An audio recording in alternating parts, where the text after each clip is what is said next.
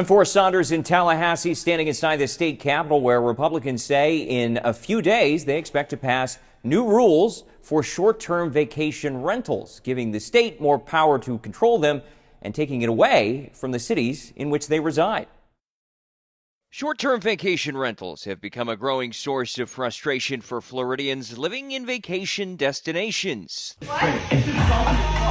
Raucous parties late at night, a regular feature in some communities with the rise of rental sites like Vrbo and Airbnb, annoying neighbors. We're building um, lifelong friends from this community, and it, it disappoints me to even think about moving. Cities have tried to crack down with a litany of ordinances and rules, but now SB 280, a plan to strip local governments of some of their authority to regulate those rentals and turn the power over to the state. And I'm fully supportive of it.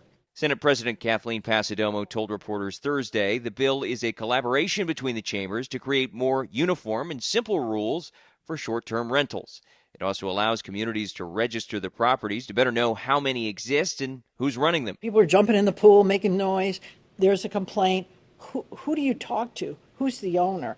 And so it's just a registration thing. And, and it kind of makes sense. It's not a prescriptive bill, it's a common sense bill. We just want to know who's staying there. But some local governments are taking issue, saying the registration powers are too weak and state control too great, potentially leaving cities and counties without much of a toolbox to combat problem properties. 280 will remove the ability for local communities to distinguish short term rentals from residential homes.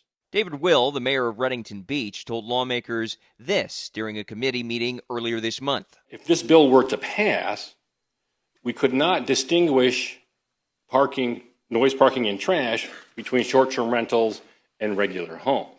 Now, there is still time for the policy to morph, and leadership says it's a quote work in progress, suggesting we could see more changes before it gets on the governor's desk, which high ranking Republicans believe will happen before the session gavels out in March.